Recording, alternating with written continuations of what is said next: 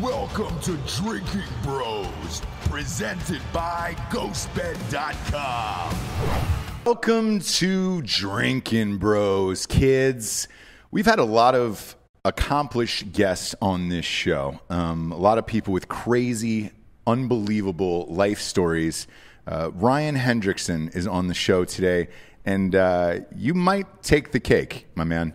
Um, I, I mean, you're, look, you've got a new book out called Tip of the Spear, and everybody is is welcome to read about your life story here. Um, we want to thank you for your time today uh, and being on the show.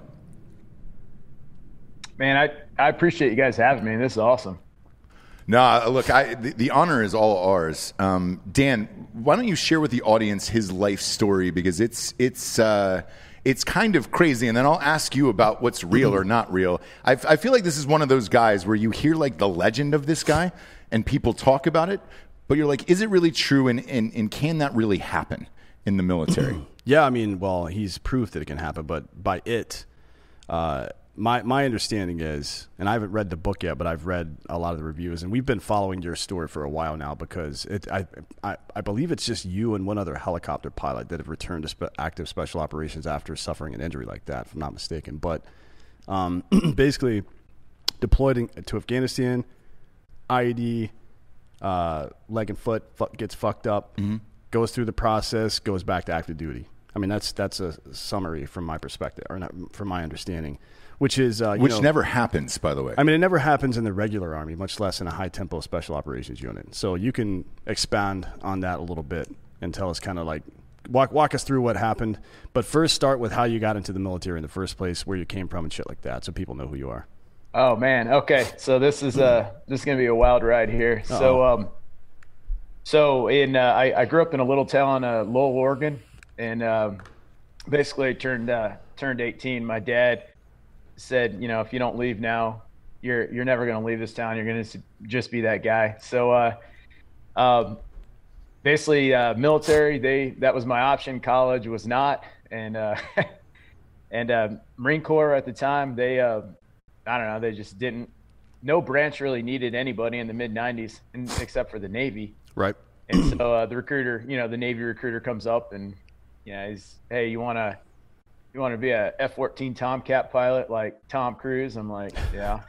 so you want to be a Navy SEAL like Charlie Sheen? Uh huh. You want to go to you know exotic ports and see exotic women? Is like, yeah. He goes, cool, man. Sign here. Well, the exotic port thing happened, but uh, yeah, I was. I never flew an F-14 nor a Navy SEAL. But um. Well, look on the yeah. flip side, you didn't get AIDS like Charlie Sheen, so That's you know true. you're ahead of you're ahead of the curve on that. Yeah, one. Yeah, and I'm not sure what the Navy's uh, recruiting procedures are, so, but at any point did any of the Navy recruiters like kiss you gently on the back of the neck or anything like that, or how does that go? I haven't. I've never been in the Navy, so I don't know how it goes. I'm I'm not entirely sure. There's there's a chance that it happened, but you know, it's, you know, influential 18 year old kid. So, um, did four years in the Navy, then got out for a few years, traveled around, and then uh, came back in, joined the Air Force and uh, did five years in the Air Force as a ammo troop, and uh, then I did I did this program from the Air Force that will let you directly switch over to the Army. Yeah, blue to uh, green or some shit green like program. Yeah, yeah. Cool. And uh, and yeah, I switched or changed it over to the Army. Uh, went to Benning for infantry. SF recruiters said, "Yeah, you're uh, you're gonna go the do the 18 X-ray program." It's like I have no idea what that is. Sounds really cool and, uh, and then the rest, you know, Q course, graduate, seventh group. How long were you overseas before the injury happened? So I actually, my first deployment in seventh group, um, I was overseas six months, and then I stepped on that IED. My God, and that was what 2010, right? Yeah, September. We uh we had kicked off the mission September 11th, and mm-hmm. then the early morning of September 12th is when I hit the IED outside a compound. Oh shit, that's a week before I signed out on terminal. Actually, the next week I was out wow. of the army permanently. Really? Yep. Um, so when the IED goes off, uh, did it take off your leg and foot? It was so it was it was kind of crazy. Um, when when the initial explosion happened, I I couldn't I, I didn't really know what was happening Um, I didn't know if the guy in front of me stepped on it or whatnot, but I knew I couldn't breathe because all the ammonia and dust and mm-hmm. everything. So I kept trying to stand up, um, find my M4, kept trying to stand up and and get to where I could breathe because I thought I was going to suffocate. And uh, I I couldn't move, and it, was, and it still didn't hurt. And I was, man, what what in the fuck is going on? I'm getting mad at this point. And um, and then as the dust starts to clear a little bit, I look down and in my my leg, my boot is about six inches off my leg, and um, it's kind of at a 90 degree angle from you know, so your leg goes straight down, and it was at a 90 degree angle. And I remember thinking, I I was like, I, I don't remember taking my boot off, so how is this possible? Because it still didn't kick in. It's kind of kind of not really a natural thing to step on an IED and have your limb flopping on your head. Sure. But yeah, I, I raised my leg up and boot flopped over and I saw my tib and my fib sticking out and then it's like, oh yeah, now yeah, okay, this is bad. Uh, and, and what happens to you at that point? Um, is the, does the pain immediately set in? Are you in so much shock that you still can't feel it? Because we've had other guys on the show who have gotten blown up, and uh, they have different versions of uh, what happened to them. Um, what happened when you looked down and realized what, what, what was actually going on? So when I looked down and actually realized what was going on, it, it took me a minute until I actually saw my bones sticking out. Mm-hmm. And then I could see like the blood wasn't squirting or anything like that. It was just oozing.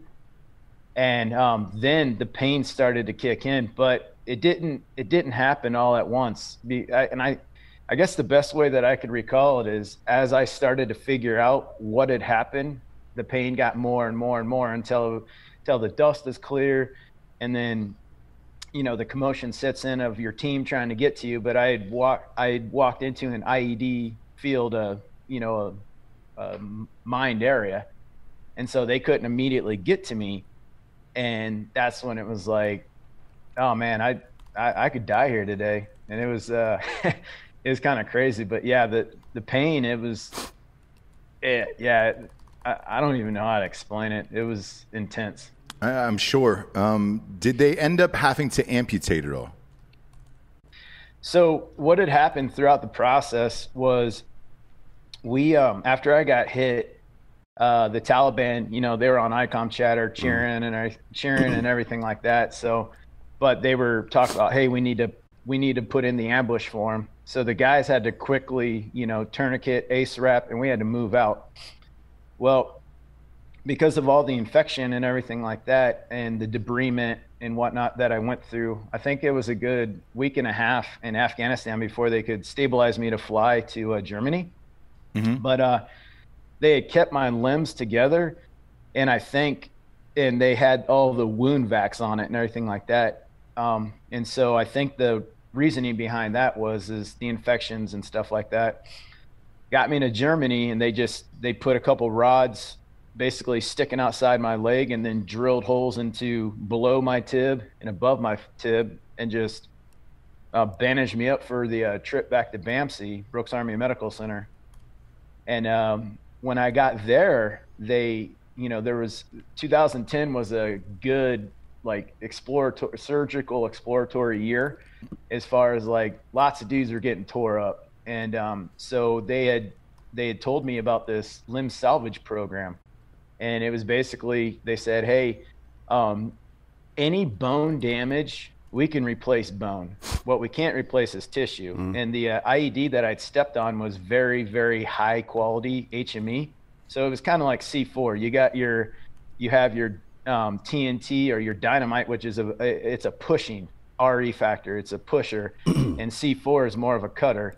Well, the HMA I, I uh, the IED I stepped on, it cut right up through my heel and then blew out almost at a T at my calf. And so they said, "Hey, um, we haven't had a leg like yours before, and we want to try and reattach your limb. Um, this, you know, if it's successful, uh, it could, it'll help out with um, with limb limb salvage and limb reattachment um, uh, technology. And if it's not, what do you have to lose? You you know you weren't going to have a limb anyways. And and so, is this surgery taking place in Germany? No, it all waited till I got to BAMC, Brooks Okay. Army Medical Center. Okay. Um, and and were they able to successfully reattach it? And and uh, are you able to walk on it now? Yeah, so I uh, I was given a I was given I, I remember it was like a 13 to 15 percent chance that it would take, and um, my the skin graft on the bottom of my foot and the skin grafts all around my leg they all took the very first time, um, which is unheard of because of infection. Uh, I never got a bone infection, and I was able to grow back three inches of tibula in about nine months. Wait, you can So, re- yeah, I- y- your I- bone regrew. That they didn't Yeah. put like an insert or anything. It's like your bone actually regrew. Yep. Holy Yeah, shit! I didn't even know that was a thing. That's amazing. I didn't either. Yeah, Wow. how it works is so they have this thing called a um, X fix on it. Looks like a giant bird cage. Um, the recent person to go through it was Alex Smith, the quarterback, Yeah. and um, and Dak Prescott's going to end up having a bird cage on also. Yeah. You know, no it's funny you said that. I, that was going to be my next question, actually, because what it sounds like is what was very similar to what we saw in the game on Sunday Yeah. with Dak Prescott. and uh, Yep. yeah. Um, uh, Yeah. uh, again, the, the reason why at the top of the show I said like the, the legend of you and the, the crazy stories behind you, you're a guy that has been tagged and, and people have messaged us a million times about having you on the show because there are stories that oh he got his leg amputated and now he's uh, you know he's he's using a prosthetic and he's back or whatever but you're you're, you what you're saying is you're using your actual real leg still like that is 100% yours um, and you were able to go back after that surgery Yeah. That's Yeah, that's was, That is, uh, I mean, that is pure insanity. yeah, that's wild. What? So what? How Yeah, I- much? What would you say if it was a percentage? Like, what's the functionality now versus before? yeah. So I so I do wear an IDEO brace. Um, it's a intrepid something really really uh, large medical word that. Uh, but anyways, it, it it gives me a calf and it gives me basically the my foot.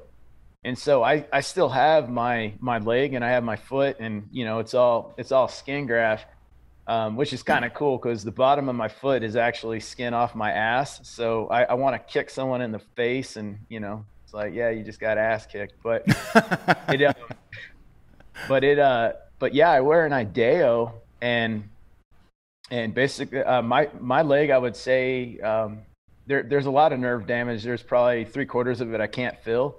Um, I can't move my ankle at all. It's it's it's completely just an L um, down there. But with that IDEO brace on it, it brings me up to like 60 or nah, I'd say about 75%. And without it, I'm I'm probably hauling around about 40%. That's great. Yeah, because we, we've had a lot of guys on the show who have gone through, you know, similar uh, IED explosions and things like that. Um, and they're usually their first comment was, "Man, I just wanted to go back." You're one of what two people, like Dan said at the top, who's actually been able to go back. Was that part of the motivating factor in your rehabilitation?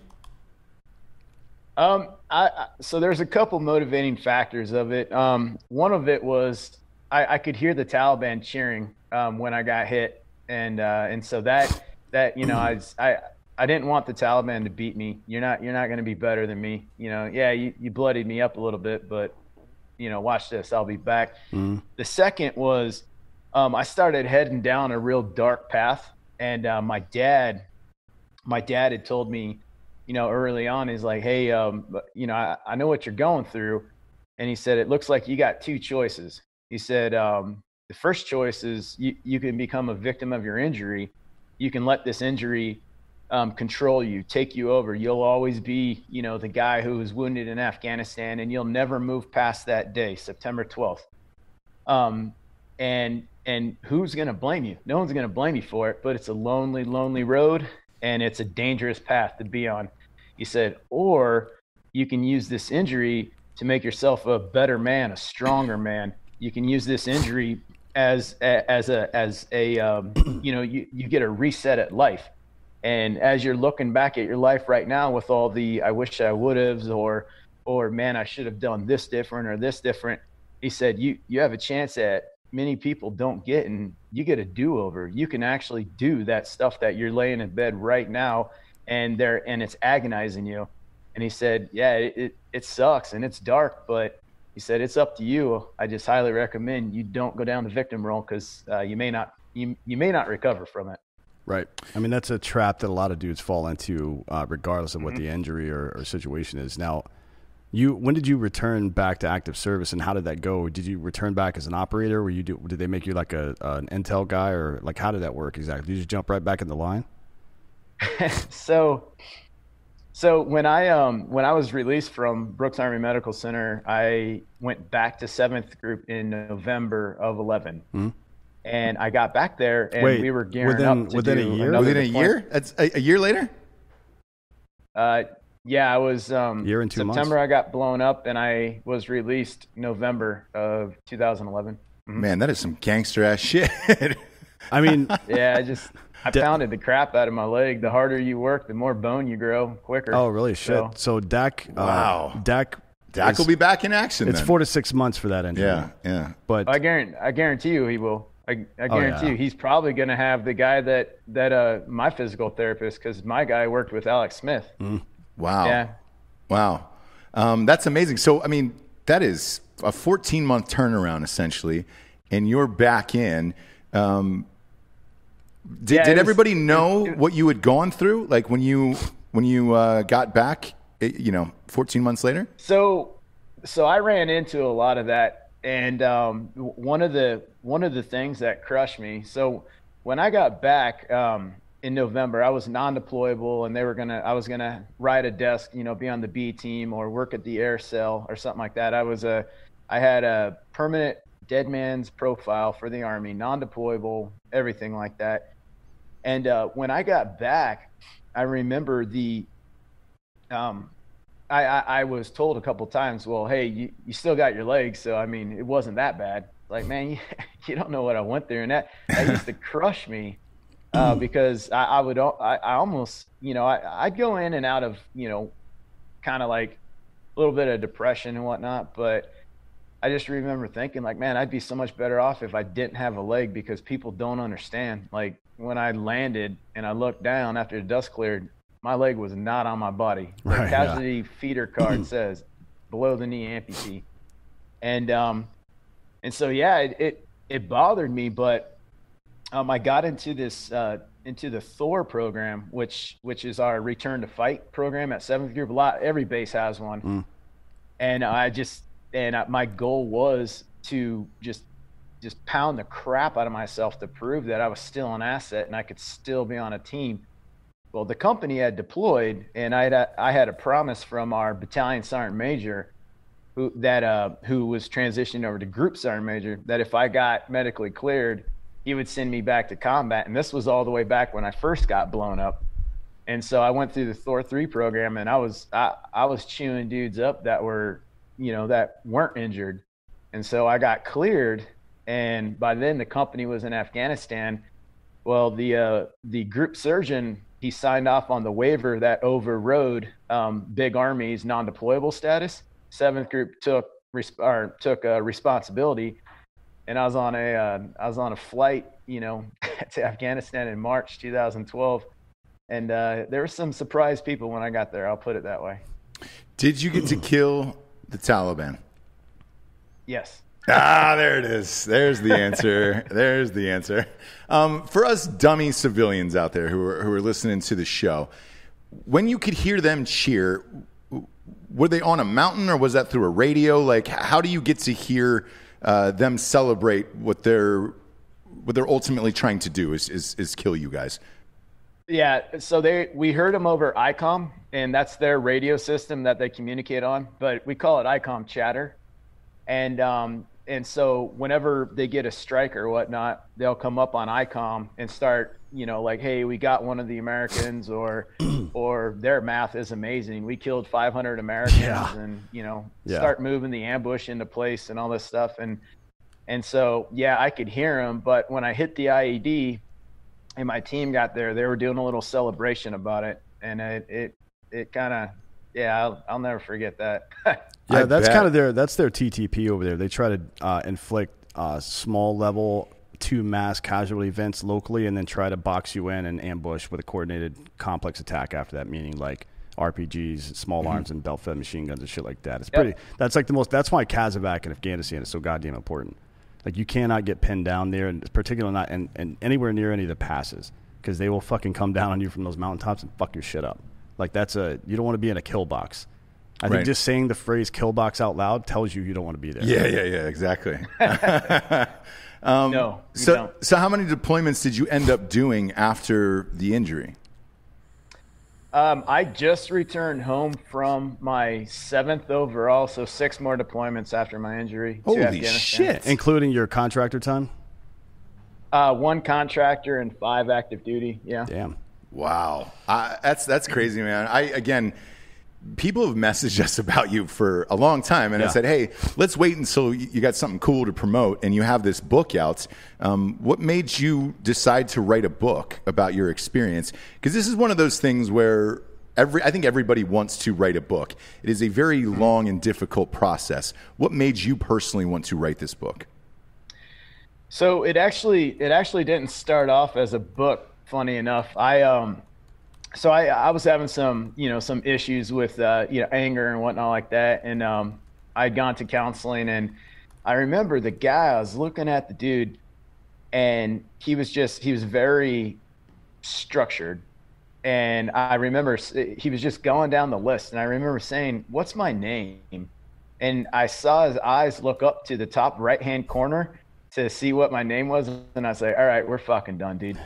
so I walked out and so I um I was talking to our chaplain quite a bit, and I remember one of the things that I was always you know talking about was like we could sit here us three and we can go over war stories and what bothers me and what bothers you and everything like that and then when when we leave we go home we go back to families and feed the dogs and put gas in the car all of it's dead air it's just gone and so he had said well why don't you try writing i was like yeah I ma- I majored in English in the third grade, but that's really it.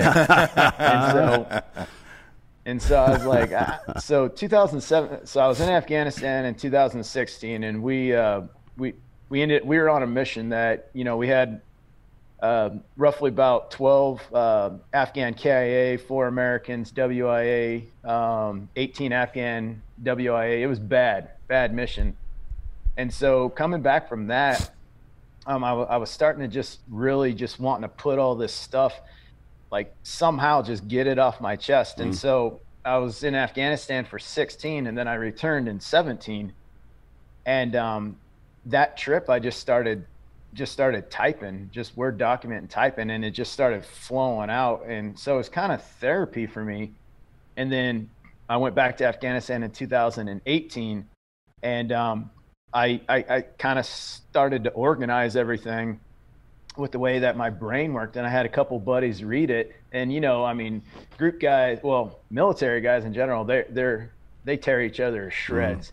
It's just the way, that's how you know they love you. Um, that's the difference between civilians and military is civilians will talk shit behind your back, but be nice to your face. Mm. We'll talk shit to your face, but we're nice behind your back. Yeah. Um, it's weird. And it's very bizarre. Like you'll, uh, uh, we Bert Koontz will say this shit all the time. He goes, "I would never say this in front of him, but this guy's super nice." Like, why would you not say that to him?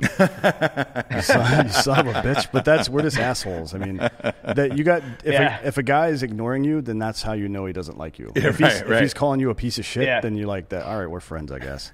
it's so stupid, but it is what it is. What but I do? um, yeah, but 18, I just started organizing it and stuff, and I had a couple like real close buddies, and they were like, "Yeah, man, I'll I'll read it, and I I know it's gonna get it's gonna get shredded."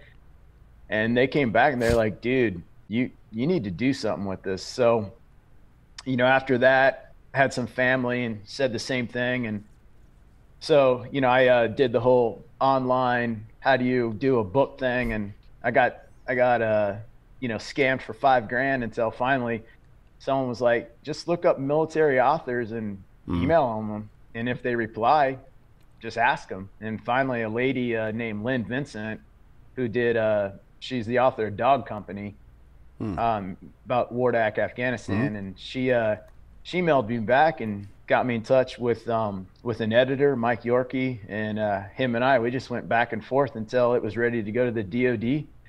and then DoD review, and then it got picked up by Center Street Publishing, and now it's uh, now it's out there. That's amazing. That's how, uh, how, how long was your DoD process? Just out of curiosity for yeah, that book. I was going to ask the same. That that was little under a year. I want to say ten months, and like oh, it's not that bad. Fuck you, dude. Um, ours was seventeen months. Uh, seventeen months. But it had to go to the agency too. Well, the agency cleared in, in under 30 days. Yeah, that's true. So uh, that was amazing, but the DoD did not, and we ended up having to get a lawyer involved, and because uh, it's a nasty process. Like that, I as a civilian, I really got to learn about what you guys bitch about, like the military and their uh, paperwork and their processing time, and it is not fast Yeah. whatsoever. Nor do they give a shit, and you guys are severely understaffed.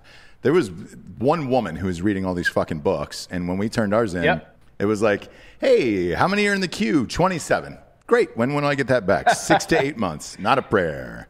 Not a prayer. Yeah, she um yeah, it went from her had to go to SOCOM, then to CENTCOM and and everything like that. But yeah, it was yeah, it was almost 11 months and it came back and the pictures were approved and I need I didn't need to redact anything. It was good to go. They Wow. just That's well, no, good. I had to redact one thing. Um, they were like, "Don't don't use your ex-wife's name, man. That's you don't want to go down that rabbit hole." we got the But, same. we got the same notes on an ex-girlfriend. They were like, "Hey, man, you want to take that?" I was like, "Yeah, yeah, yeah. We'll, we'll take that." By the way, Yeah. this super funny. Center uh, Street is kind of a powerhouse in the in the. I don't, I don't know what you would call it, but they have a David Baldacci. They do all his shit. Mm-hmm. Uh, they they published Malala Yousafzai's book. Like, Yeah. they, there's a ton of good fucking authors over here. Yeah, no, look, it- it's it's great, and like you know, Michael f- Connelly. for the people at home. I think the other important thing about this is because Dan and I get this question all the time of like, "Hey, man, I have these crazy war stories, and I think my book would be amazing, or whatever." Very few people actually take the time like you did to sit down and write it out because it's hard. Like you were saying earlier, like uh, that writing might be therapeutic. It is, but it also forces you to relive all the bad shit that happened to you. Um, Yeah. what was it like going through that again, going through that process again?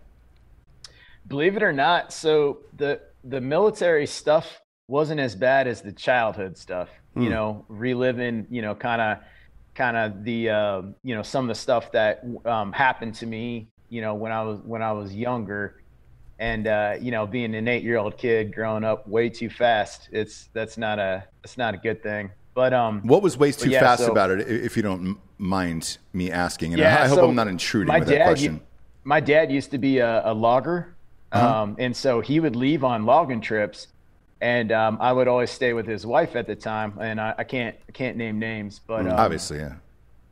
yeah, but yeah, her and her roommate, they uh, yeah, I, was, I grew up real quick at 18 years old, so was sexually um, molested and whatnot, so so kind of kind of set the uh, kind of set the stage for a lot of issues I had growing up, if you can imagine that, you Mhm. know, um, just with the trust issues and everything like that. But um, in the end, I just, you know, there's always someone that's had it worse, and and there's bad people everywhere. And it's once you once you quit becoming a victim of it, and and just understand, hey man, shit happens, and and yeah, that's bad, but um, the it, it's the victim mindset, and I believe our country, a lot of our country, stuck in it. Well, poor me because I grew up like this, or poor me because this happened to me, or you owe me this because of this, or this, or this, and it's a victimization mindset. But people don't realize like you're not owed shit. And congratulations, man, you're a human being. But you know, quit thinking you're des- you deserve something that that nobody else does, or you're entitled to this, or you're special because of this. You're not. It's you know, get over yourself. And so once I realized that and I start and I and I was like, hey man, you need to quit feeling sorry for yourself. Bad stuff happens. And um, I educated myself. I, I, I I've se- I, I've seen well not seen, but I've read about some really like some nasty stuff that humans do to each other.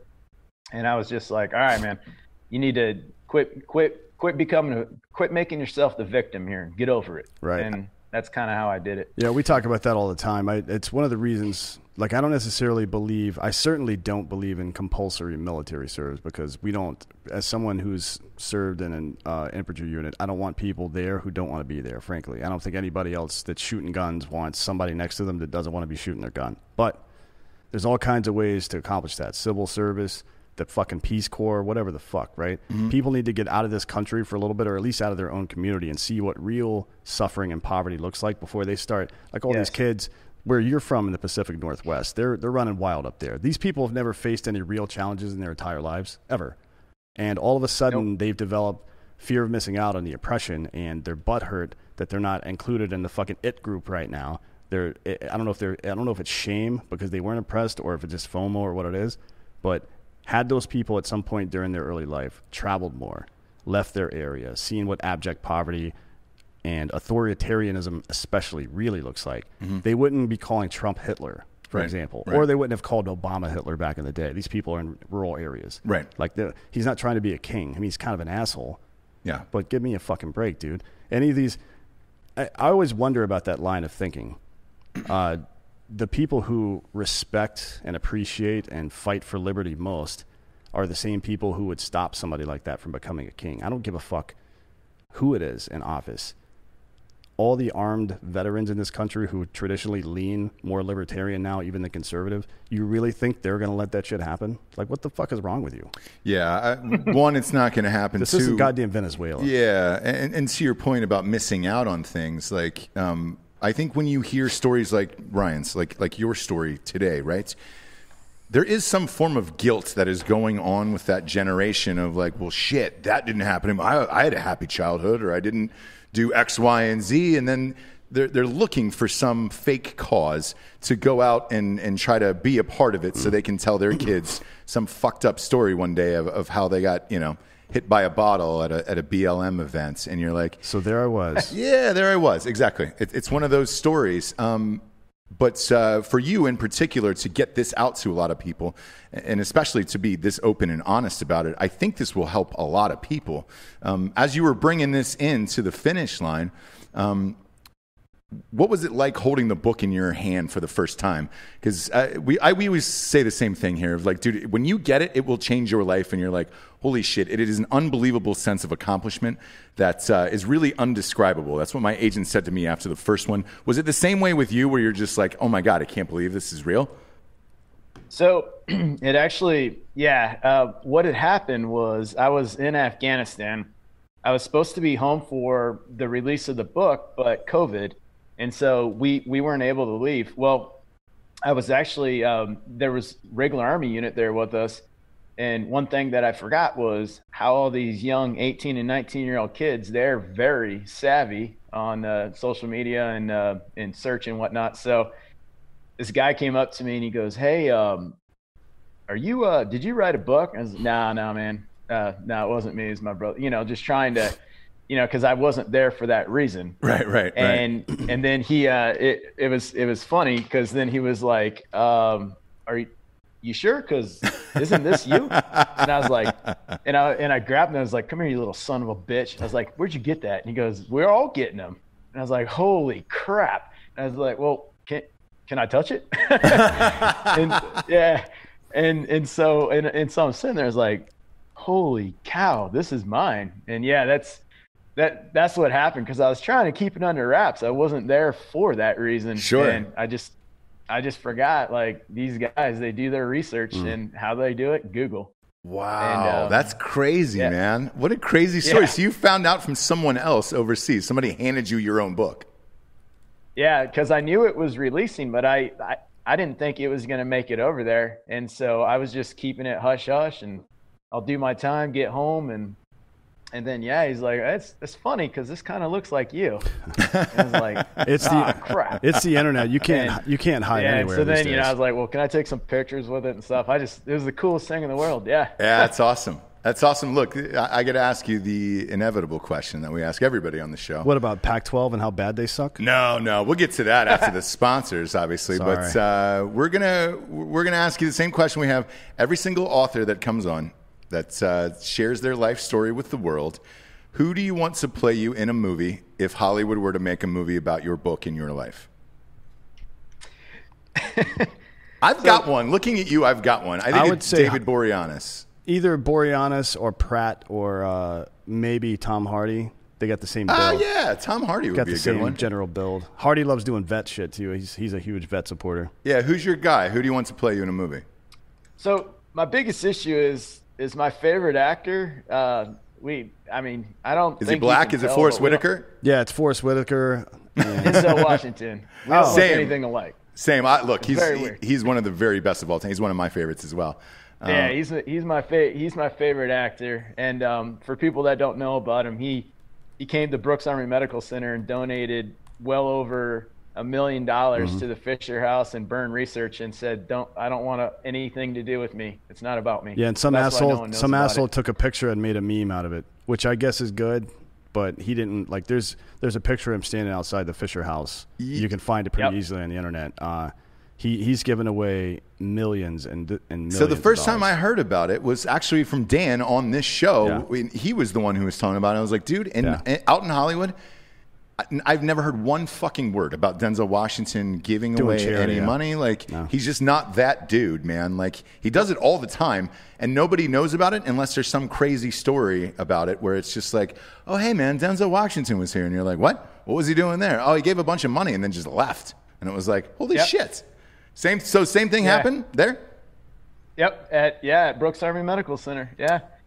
Yeah, he, he bought him a new. Uh, well, there's no direct. N- neither side admits this, but here's what happened. They needed a new like uh, chow facility, like a dining facility or some shit like that, and it was on the boards for a while and didn't happen. And then all of a sudden, he shows up, and a couple months later, a 1.5 million building dollar building gets built. Now it's Yep. you can say maybe he wrote a check, maybe he didn't, but you know, a basic human intelligence tells you that he fucking somebody said, you know, we're just waiting for this new child but we can't afford it. He's like, oh yeah, how much?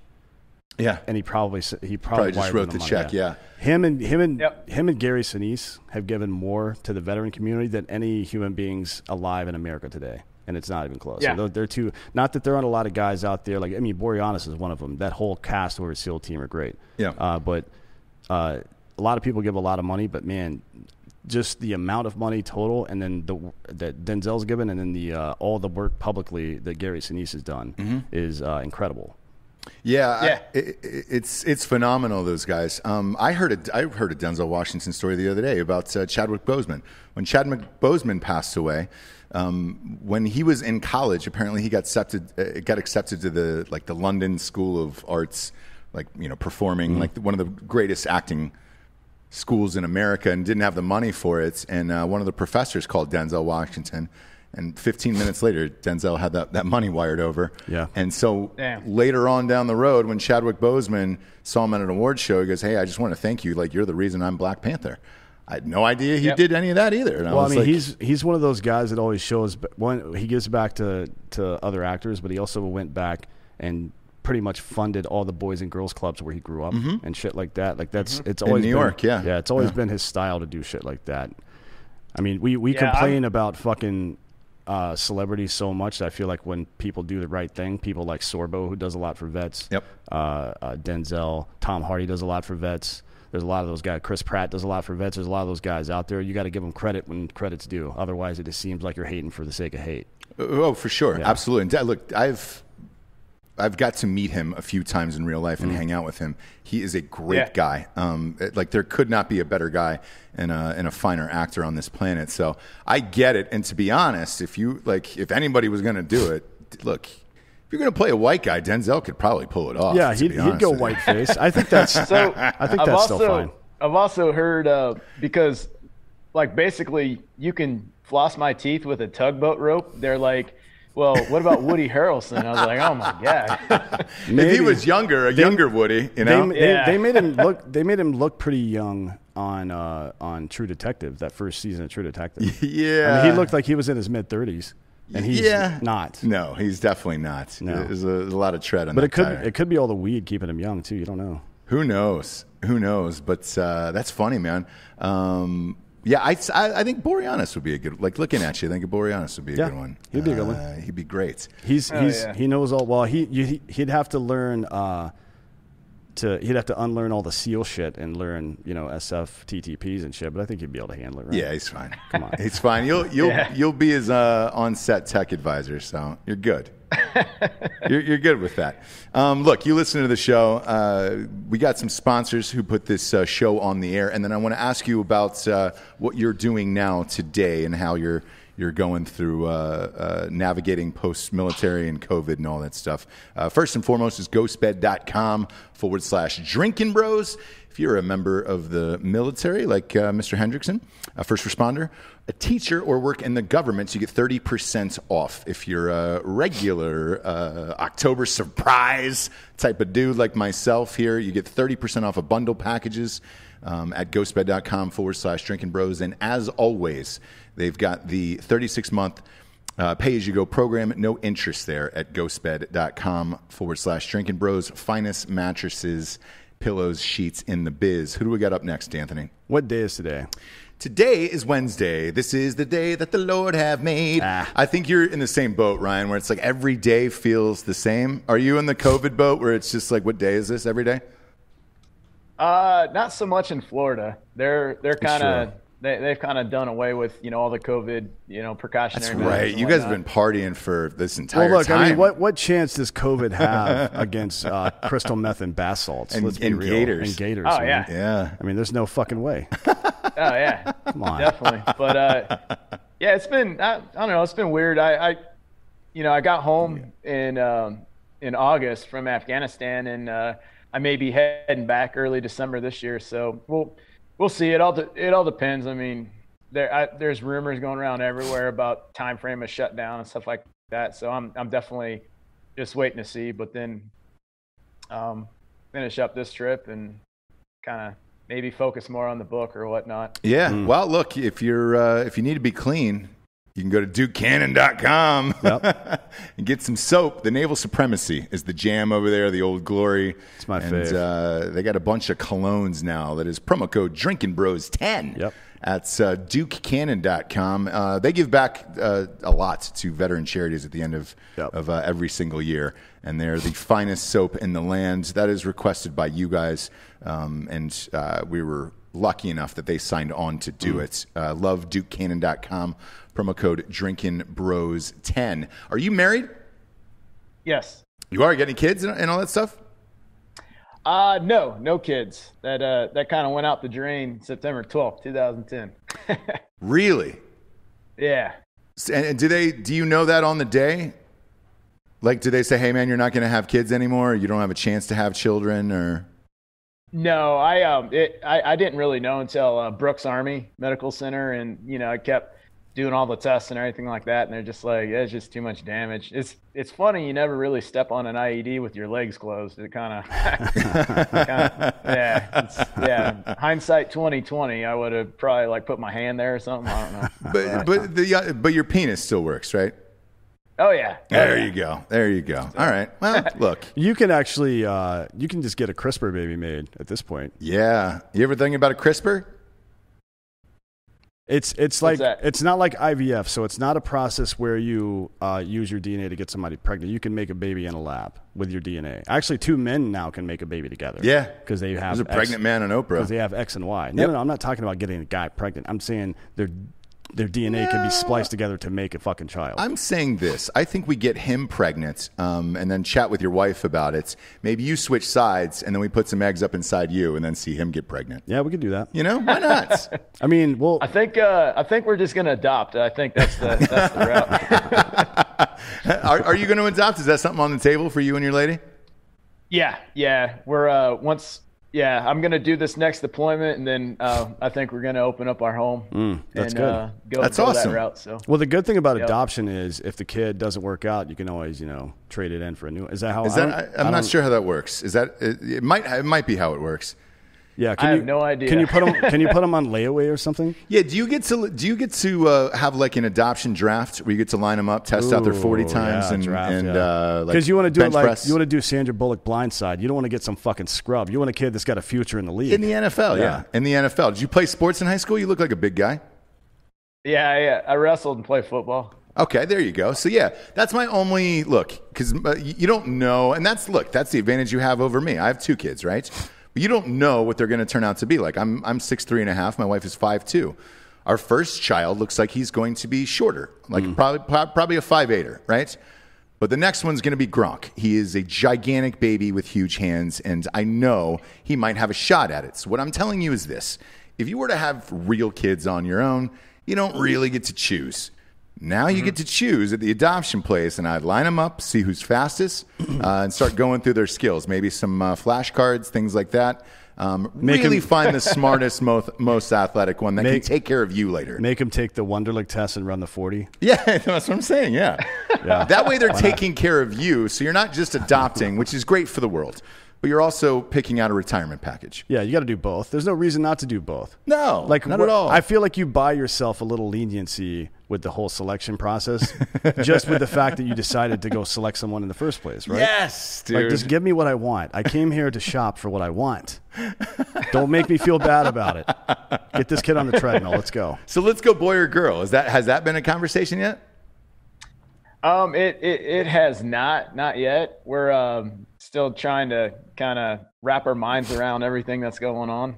So Yeah, yeah. we uh it's a lot. we tried the in vitro thing and it, it it just they said it's not you know we tried all the shots everything like that and they're just like it it's just not gonna work guys Yeah. so um so now we're moving on to the adoption thing and and so yeah actually this month I go in to do my physical to make sure you know I'm not gonna have a heart attack after adopting a a new um, newborn and Mm-hmm. you know I I I croak or some shit like that and we'll be doing a home inspection here coming up and and all kinds of stuff. So yeah, it's uh it's exciting, but I'm I'm a little nervous about the uh the price tag and everything yeah. like that. It's it's crazy if you got to it's crazy how crackheads can pop out 18 kids, but you know, someone that has a good home and a and they can give a good life. I mean, there's there's price tags I've heard up 30, 40, 50,000 dollars. Holy like, shit! yeah. Yeah, because I know. Look, I, IVF is not expensive.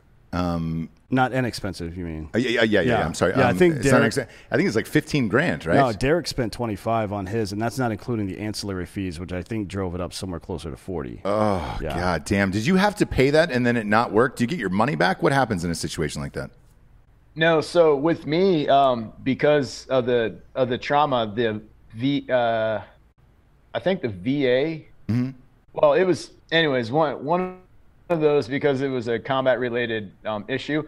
It was actually paid for, but with that, there's there's a lot of um, stipulations to it, and and basically it was it was almost like uh, one shot, and you know. But I'm glad I'm glad that I got the the hard answer of like it's not gonna happen instead of us hanging on and, and hoping and hoping and hoping.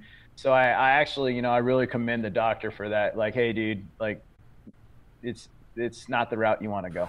Yeah, that's that's cool because it, it also saves your wife as well because those shots are not uh, easy. Uh, those are painful. Yeah, I think fucking. Uh, Derek White has Yeah. been on. I think know, his wife was taking like nine times, yeah. shots um, a day Yeah, on some it was days. something some shit like awful, that. man. Fuck And then you have to time Yeah. up like Yeah, when you guys uh, have sex. There's like a an app or something.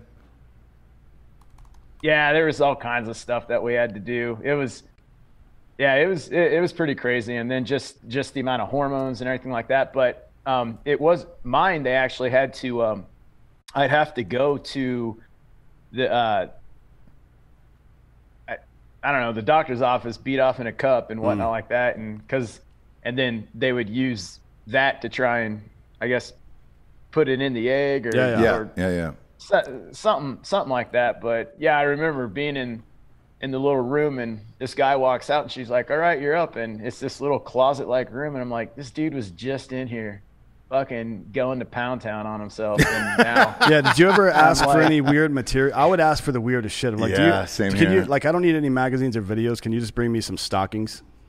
And then they bring me in like like Yeah. like tight stocking. Like no, Yeah, like yeah. no, I mean like Christmas stockings. Christmas stockings. I need yeah. Christmas stockings. I need three of them hung on the wall, and I need you guys to stay in here and face away. And I me. need you to put names on all of them, and I want Jimmy, Timmy, Teddy on those on those three stockings. Yeah. And that's the only way I can get off. Yeah, and then there's Mine then there's another porn, there's yeah. another smaller stocking at the end. There's a nail for it, but no stocking, so you know one of the kids is gone. Yeah. right. That's it's part of my fantasy. I don't don't fucking kink shame me. I do what I Yeah, want. tell the doctor to dress up as Santa. Yeah. um, Just- yeah. That's a strange thing. You go into these rooms and it's like ten thousand other dudes have jacked off in the same room, and it's like have fun. oh yeah I mean that's Oh, every yeah, that's every can't- yeah, hotel I've no. ever been in though. Let's be real. That's true.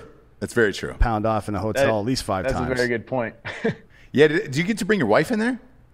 no no there's yeah you can't uh no lotion nothing it's got to be got to be straight up dry it's it, it's kind of like a it's it's kind of like a pre-mission beat session. Like mm. you're all amped up, you need to calm down, run to the porta yeah. potty real quick, knock it out of the park, and then you know head head to the vehicles and get ready to roll. But um, it's kind of kind of what it is. But yeah, I, I walked in there. I was like, I'm not touching anything. There's, yeah, there's well, baby either. batter all over this place. Yeah, yeah. I wouldn't either. I'd, for sure. Uh, that's crazy. A wheelchair porn I'd probably ask for. Well, luckily it's COVID times right now, so they probably at least cleaned up the room a little bit better. Yeah, they had to. Yeah, right? they had I, to. Yeah. If I if I ever end up in a room like that, I'm definitely bringing a UV light.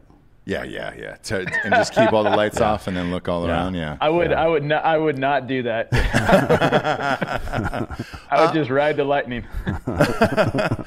why, why is adoption so expensive? Serious question. Like, I, I, did not know there was any cost involved in adoption, and maybe I'm naive for that, I, but I, yeah, it's, I, I don't know why. I, I really I have no idea. But when when, when you so. like when you I guess not, it's not probably not a brochure, but when you get a the application or whatever it is, what is the cause for the fees? Like what you know like that doesn't make any sense to me. To me, if you're willing to adopt, Jesus Christ, mm. man, they they should they should jump through hoops to you know make it free. Like, what's the cost involved? Yeah, that's so. My mindset was the same as yours. Um, the only cost that I know of right now is so um, when you're doing all the paperwork, that's you know five hundred dollars, and then you have the home visit fee and and stuff like that. But we haven't even touched adoption fees yet, and mm. yeah, it's um, I, I don't know. I've I've heard like I had a buddy, and he adopted a kid, and I know uh, you know it, it got pricey because he adopted a kid from from uh, South Korea, but yeah, it was like forty five thousand um, dollars. But well, that flight's yeah, not, that flight's not cheap, so that one I understand. He probably wanted the kid in first as well, and it's yeah. like, dude, you're looking at 18k. And that's a that good first. investment because he's probably going to create the new iPhone in yes, your basement. dude. So. Uh, like if you're going to buy someone, buy an Asian. Yeah, don't. Yeah, don't, definitely don't. definitely don't go overseas to get a white kid. Scholarship. Guess who's not paying for college? Sure. You are. Yeah, because you got an Asian. Um, mm-hmm. I and I understand that. Your buddy made the right call on that one, but uh, yeah, yeah that, that's that's really shitty, man. I, I strangely out of like the 1500 shows I've done, I I don't think I've ever had anybody on who's gone through the process of adoption. So I didn't I didn't know there was any cost like associated with that. Mm. Uh, that's really shitty, man. Um, are you going to keep uh, like an American child? Yeah. Oh yeah. We're we're we're adopting here. Um, it's just yeah we we're going to go through the whole process and and, and kind of see basically uh, how how the cards fall. I mean, awesome. And, yeah. Awesome, man. Awesome. Well, look, this is the point in the show we get to the drinking bro of the week, which is uh, someone who has inspired you or helped you become the person you are today. Who would you like to give the drinking bro of the week to? Um, well, as you guys will see in my book, my dad, you know, with, just with the advice, because, uh, you know, from from some pretty dark days in the hospital there, I, I can, I definitely can see how people end up as part of the 22 a day. Mm. I really do and um, and so having that family backing to to keep your head straight and well as straight as it can be when you're when you're cranked off of methadone and whatnot, but um, and just just just keep everything in perspective and reality. Yeah, um, you you'll see in the book. It's just you know my dad, you know he's that's that's got to be it for me. So uh, it's a, it's a great one. We have we have a lot of people actually give it to their fathers, mm. and uh, uh, there's nothing wrong with that at all. Um, Look, man, you're you're an inspiring guy, and it's mm-hmm. it's amazing what you've gone through. Uh, check out his book, Tip of the Spear. Um, for those of, uh, of uh, our audience who uh, the listeners who are going to buy this book, what was your favorite chapter in that? Um, I'd I'd have to say, running around uh, Southeast Asia and uh, about getting arrested in Ho Chi Minh City. Uh oh. There it is. Um, That's a good one. There yeah. it is. How many prostitutes so, were involved? Yeah. uh, strangely enough, that's uh, yeah. You you can really get yourself in a bad situation in Vietnam for doing that. So, um, yeah. But uh, there was some there was some money owed to a hotel, and I I didn't have the money. I was broke because I flew to Vietnam for a week and a half with about $500 to my name. Ran out of money, and so the military, or well, I would say cops, but soldiers came in, and I had an AK-47 in my chest, and I was like, "Oh, this is this is probably pretty bad." Hmm. I've seen Locked Up Abroad. I can't imagine Locked Up Abroad, you know, Saigon, but this this will probably be on there somewhere.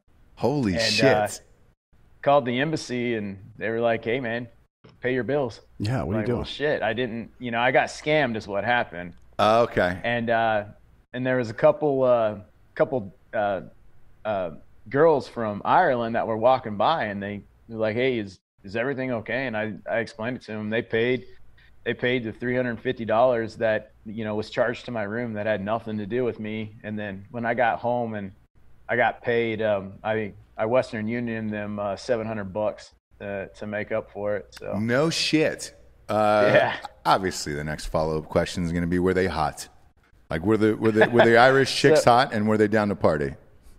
So um, good looking. I wouldn't say hot, and down to party, no. Okay. So. So they just did it out of the goodness of their hearts, not because Yep. they had like you know the American soldier fantasy of like, hey, uh, we just No. saved his life, maybe he can save ours tonight. No, no, it's no, that it didn't quite happen that way. So Now, if it ever happens again, I would recommend playing Hulk Hogan's theme song. Uh, I am a real American. yeah, I'm a real American. Yeah. Just to, even if it doesn't work out, at least you're flexing. You know what I mean? Yeah. Which is really important. We don't want Ireland is a is a beautiful country, but they're dumb and poor, right? I my family comes from there. I know exactly. Are they? I dude, I've never. I know nothing about their Ireland. economy's fucked. Is it really? They almost died. They're on an island Uh-huh. surrounded by fish. They almost died because potatoes ran out. Let's be fucking real about what Ireland is exactly. okay, I have no delusions myself. I, I mean, it's a beautiful country, and my ancestors hail from there. But come on, man. I know very. I know Conor McGregor. Um, I know Lucky Charms, and uh, don't think and I that's- know it was probably next to where Braveheart was shot, like somewhere in there. You know? Uh, different island. yeah, but still, Well, actually, it's I don't pro- know. Probably the same. I don't you know, where Braveheart was shot. I don't either, but uh, th- it's what I imagine Ireland to look like. So that's that's my best guess uh, thing there. Was that was that a whole deal? Like when you got off, was to go to Vietnam? Did it like did everybody party there? no, um, I, I went to Vietnam just just because I wanted to go to some areas that my dad was, you know, stationed at, and a couple of the areas I went to, they were just overgrown jungle. And and uh, the guy I was with, he's like, yeah, it used to be a used to be a base right there and there. And then I went to this place um, in Vung Tau, and uh, the base that used to be an American base, it was now a you know Vietnamese Army base. And so I thought that was pretty cool. Learned a lesson: don't take pictures of the base because you'll get rolled up there too. And I was like, well, shit, man, I just can't win in Vietnam. But to We to didn't either, day, though, that's to be honest. So you know, to this day though, that's my that's my favorite country I've ever been to. Really? That's it. what everybody says. And I South Vietnam and South Korea are two of the like most technologically advanced, safe countries on Earth right now. That's Like, funny. for so my, my parents went there and they said they enjoyed it, and then I was like, really, Vietnam? And then I remember when uh, Anthony Bourdain did his special with uh, President Obama, he took him over there to Vietnam, and I guess the, the food is phenomenal and uh, and the culture is amazing. Yeah, uh, like Yeah. lights out, and everybody says the same thing. Um, and I'm always surprised when I'm like, really, you want to go to Vietnam? But it's that it's that great, huh? Yeah, I I want to go back, and I'm gonna I'm gonna ride motorcycles from uh, Ho Chi Minh City up to Hanoi, all along the coastal Highway One, and uh, just hit every single beach town on the way up there, and just yeah, man, it's it, it's badass. So My one recommendation is to do that before you get that kid, because after the child arrives, you will have zero life and you won't be able to do anything. Yeah, and once So- you get up next to Hanoi, make sure you look on for the uh, billboards of uh, Jane Fonda they have up there still. do they really? No. no, but she can get fucked though. Yeah, yeah. Jane Fonda Every- can always. everybody's always like, she was young, man. She was thirty fucking three years old when that happened. Yeah. By the way, She was If you haven't figured up. it out by then, maybe you're not going to. I can't remember Jane Fonda ever being young. Like she, it seems like she's always eternally been thirty-five to sixty. You know, yeah, um, not bad looking, just uh, you know, weird lady. definitely a weird lady. Uh, weird lady.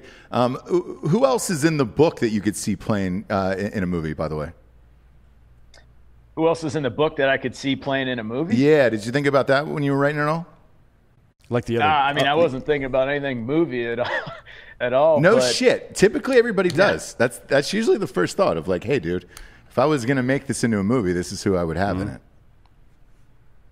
No, I I mean, yeah, I've been you know I've I've been asked that question a couple times, and and for me, I I don't know, I was thinking like Chris Pratt or something like that, but I've always had a shaved head, and so it's kind of like, well, not not just you, but other people, like the doctor. Like, would you get Clooney to play the doctor and try to get him back in the ER days? I like, get I get Doogie Howser. Oh, that'd be great. But MPH? as a sixteen year old, yes, like age him down. Yeah, yeah. And he does the leg surgery. What we're trying to do is we're trying to make this become a, a global blockbuster yeah. here. So the notes we're giving should absolutely be taken. I think NPH as the as the child doctor would probably great. probably wouldn't take any of this advice.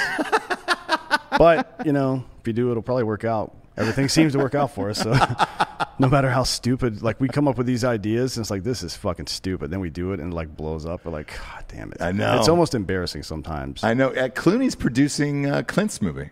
Is he really? Yeah, Clint's. Uh, oh, that's right. Yeah, yeah. yeah. Romesha. Yeah, yeah, yeah, yeah. Um, he's that's the production company behind it. But I know there was another one with Jake Tapper that they released. Um, Jake Tapper wrote the fucking movie and sold it on Clint's story and uh, unauthorized, and that is out there right now. Yeah, yeah, crazy, right? No, Jake, Jake, Tapper's a cunt, so no, it's not. uh, last but not least, here before you, we we let you go, uh, you got any election predictions here? Election predictions? Mm-hmm. Uh, I mean, I don't think I'm predicting anything. I'm I'm I'm fairly certain that you know it's going to be um, four more years, but um, I just you know there's there, there's a lot of hype going on right now, and I I, under, I understand that, but I mean I I think there has to be hype, or else the news the mm. news wouldn't sell, and there'd be no mm-hmm. ratings or nothing like that. I, I just yeah, that, I just don't that, that's why I don't see. I don't either, and that's why we ask is because uh, this show a lot of people don't know this. Like we record and then it's out pretty much immediately, so the right. show will be out, you know, in, in like two hours. But um, mm-hmm. uh, that is the, I guess the topic on everybody's uh, mind here mm-hmm. is uh, what's going to happen in this uh, this election. It's weird, man. I because we believe the same thing, but uh, again, looking at the the polls today, I was like, nope, 91% Biden's favored to win. And I'm like, in what world? I've doubled down in my bookie, by the way, hmm. um, on mean, this. You can bet on the president. Yeah. So uh, I have doubled down. Um, look, we, hey, we appreciate you being on the show today. You're endlessly fascinating. Uh, please go check out the book, Tip of the Spear. Uh, it's available on Amazon. Uh, is it in bookstores and all that stuff? Yeah, it's in bookstores, and I also um, I'm I'm a I'm a pretty good or I'm a pretty big idiot, but I actually I got a website too. So. Oh, great! Go ahead yeah, and plug it. Uh, yeah, it's ryanmhendrickson.com. So it's um, I didn't build it; it was built for me. But yeah. Let me ask you this: Can people buy signed copies off of that website? So I'm still working on on that whole deal. What mm-hmm. I've been doing with signed copies is I basically, if someone wanted a signed copy, they'd they'd hit me up on usually Instagram, mm. um, which is you know it's at uh, tip of the spear RMH. Um, okay. But they'd hit me up on Instagram, and we just we'd exchange information, uh, mailing information. I just um, sign a book, write a little something, and and have it have it in the mail within a couple days. So Perfect. Uh, look, you heard it here first. Yeah. Hit him up on Instagram. He will sign your book and send it back. It's Thank all, you for your time It's also on today. Audible, by the way. Yeah, it's also. Did you read your Audible?